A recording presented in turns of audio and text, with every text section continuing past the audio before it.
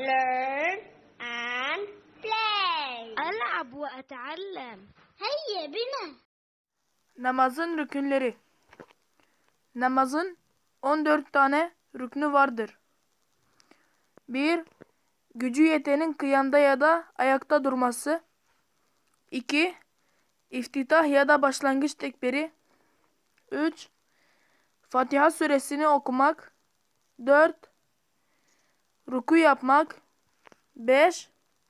Rukudan sonra başı kaldırıp iyice doğrulmak. 6. 7 uzuv üzere secde etmek. 7.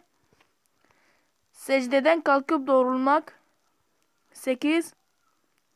İki secde arasında oturuş yapmak. 9.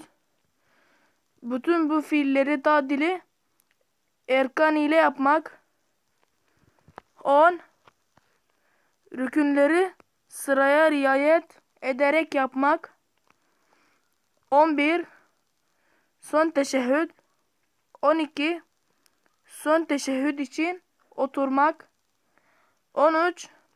Nebi sallallahu aleyhi ve selleme salat getirmek. 14. Sağa ve sola selam vermek.